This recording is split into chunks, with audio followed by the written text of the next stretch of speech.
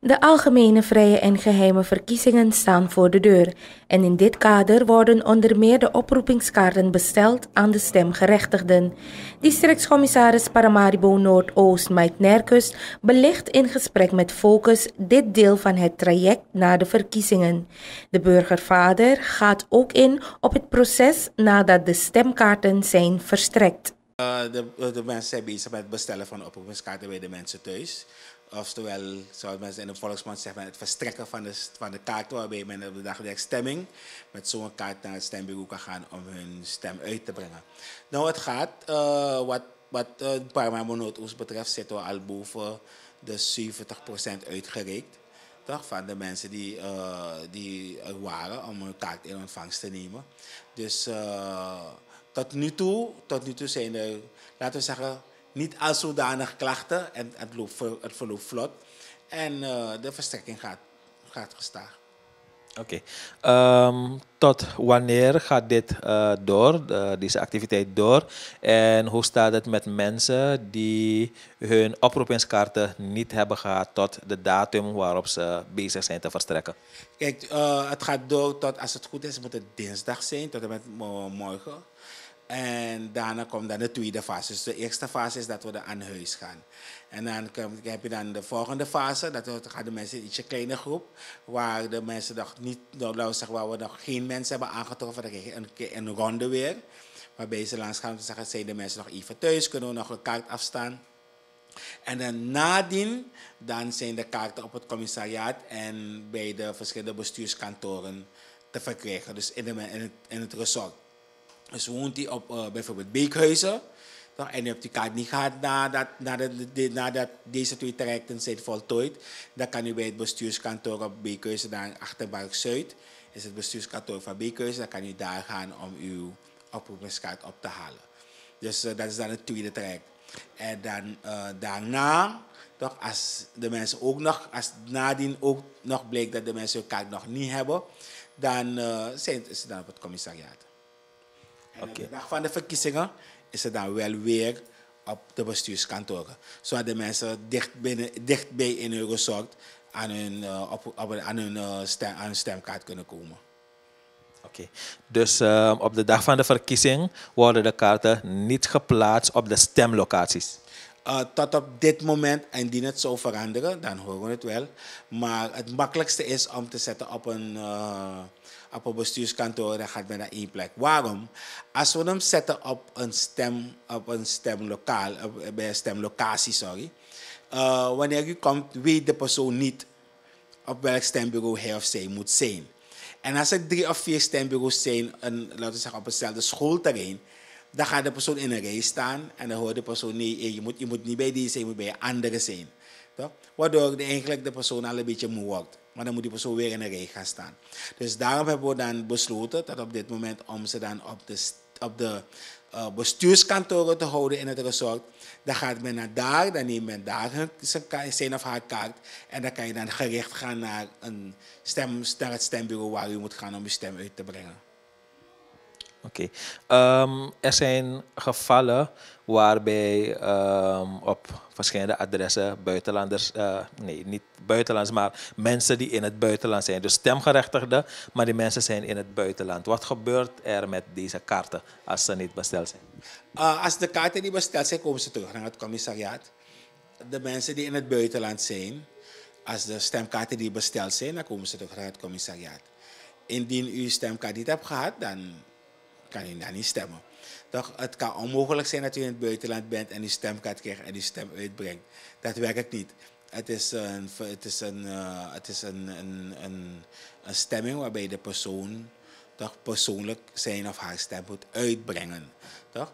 Er zijn alleen uit, zijn uitzonderingsgevallen, toch, waarbij er dan een, een, een machtigheid wordt uitgegeven. Maar die uitzonderingsgevallen zijn ook bij wet aangegeven waar, op grond waarvan zo'n machtigheid mag worden uitgegeven.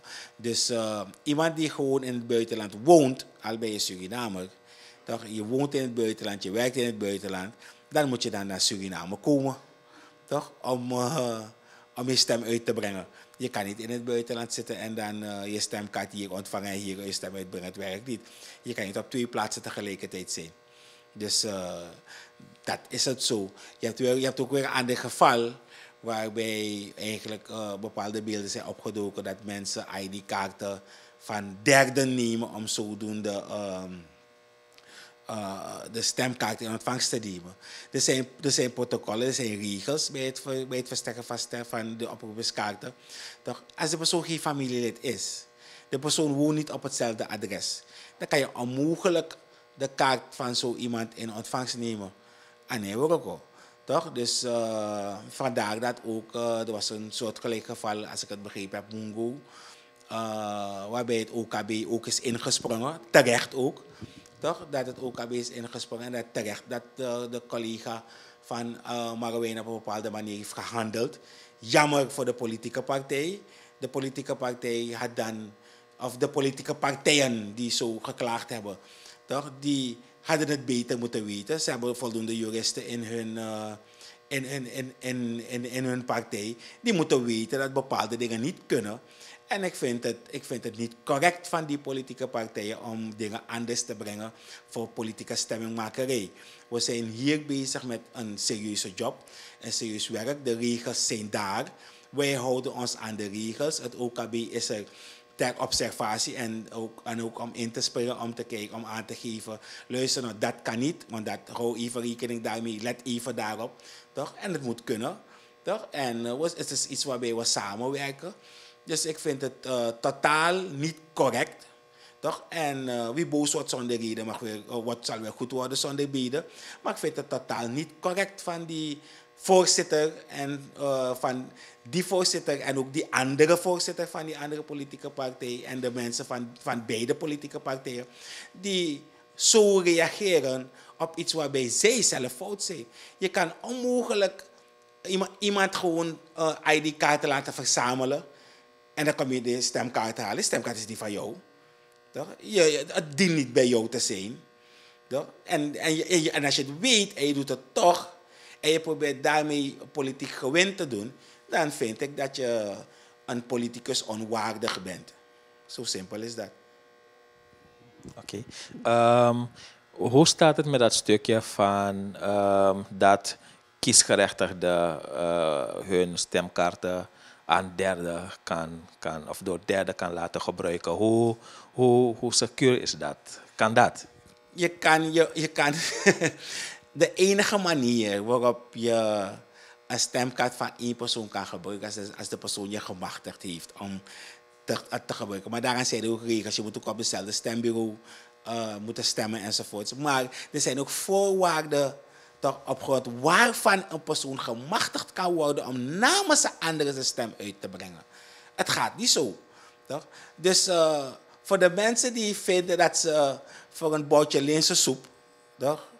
Kotak lek was aan de kotak jiwa jiwa komchi sauto, iwas iwa jiwas bij steenkaarta, dat is je probleem. Toch? Tamara een bagi. Toch? Uh, kijk, je moet houden. Als iemand die iemand zo'n stemkaart van de andere neemt en hij of zij zou die andere wat geld geven ervoor, jij kan niet gaan stemmen. Je stem wordt niet uitgebracht. De persoon kan je stemkaart ook niet gebruiken om op iemand anders te gaan stemmen. Toch? Je moet je legitimeren.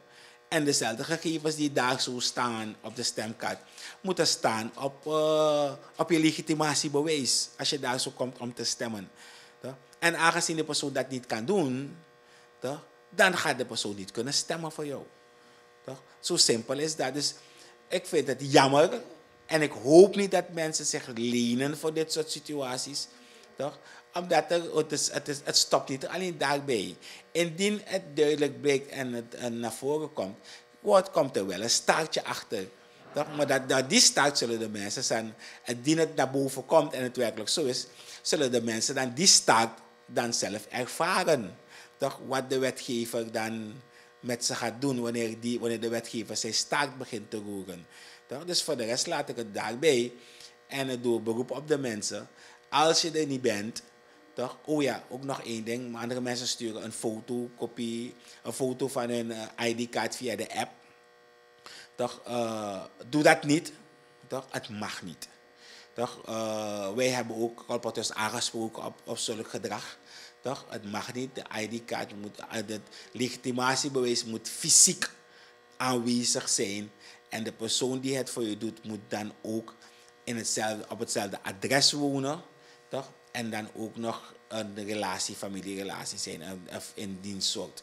Toch? Dus uh, uh, doe liever die, dat soort dingen niet. En ik zou dan nog een keer een beroep willen doen aan de politieke mensen die politiek willen scoren. Doet u het op een correcte manier.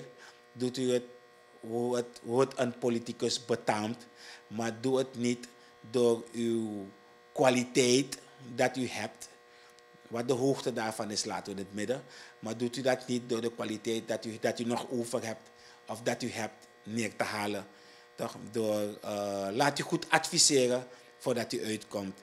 Toch? Want uh, mensen, bepaalde dingen kunnen niet door de beugel en mogen ook niet. Toch? En daar gaan we ook niet aan meewerken. Um, om terug te komen op dat van uh, de machtiging. Wie zijn de mensen die. Uh, wanneer mag je iemand machtigen, precies, om voor je te stemmen? Ah. Dus uh, houdt u wat even ten goede. Toch? We, zijn we gaan er morgen mee starten.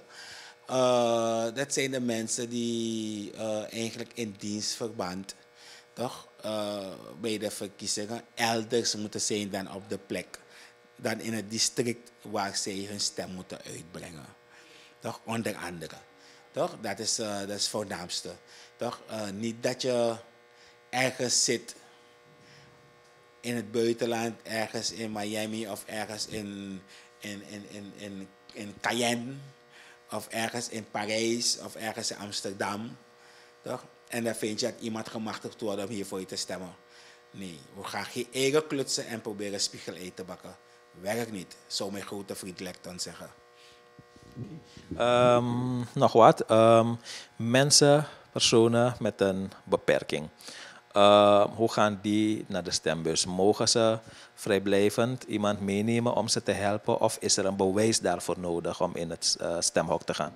Kijkt u, iemand uh, die niet kan zien, als het goed is, dan kom je met je eigen persoon toch? Uh, afhankelijk van de situatie, want we zaten nog bij het COVID-ding.